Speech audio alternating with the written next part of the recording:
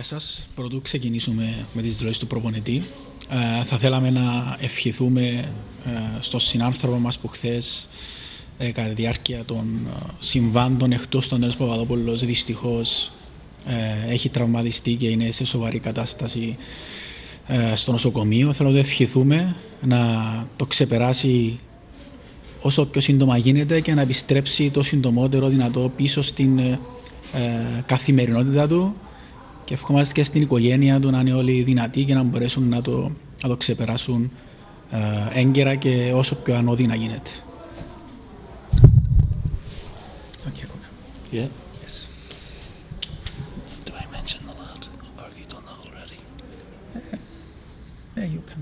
Yeah. Yes. First of all, I would like to echo Andreas's words uh, from everyone in Ammonia, the playing staff, the coaches, supporters. We wish the young man, you know, the, the best and hope he comes through. Um, on the football side, I'm a very happy coach this evening. We made 11 changes from uh, the team that played in Orthosis, and um, particularly in the second half, I thought we were outstanding. We played some breathtaking football, scored two magnificent goals, and um, we could have scored more. You know, so it's great to have that trust now in the squad.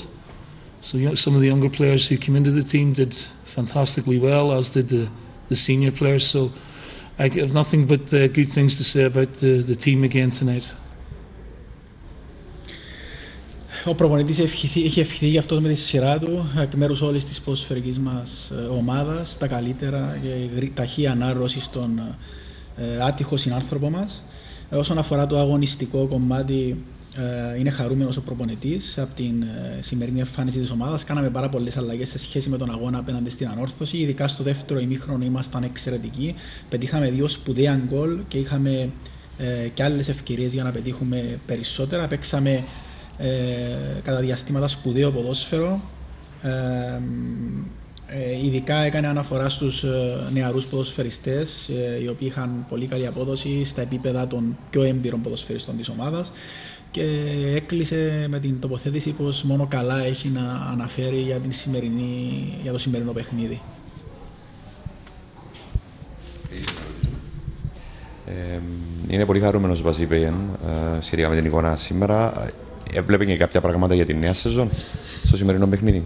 Κάποια, έκρινε κάποια πράγματα. So do you plan to use this uh, game today um, for uh, your thoughts regarding the next season?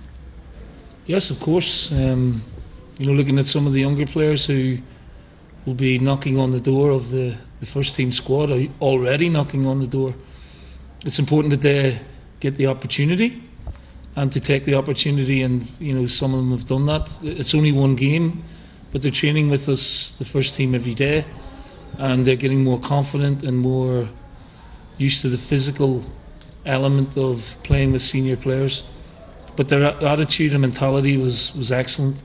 And I also used the game for the squad to make sure we were in match condition for Wednesday night because it could be a long night. You know, we are playing a very good opponent, and um, I'm going to need everyone fit and ready.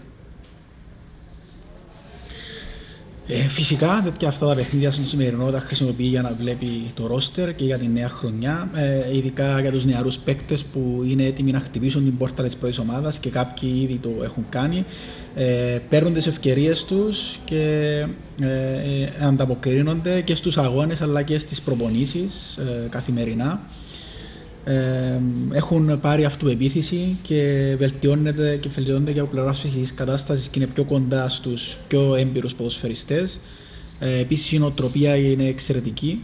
Ε, απ' την άλλη, ήταν ένα παιχνίδι που θέλαμε να το χρησιμοποιήσουμε για να είμαστε έτοιμοι για τον αγώνα της Τετάρτης, διότι μας περιμένει ένα μεγάλο παιχνίδι.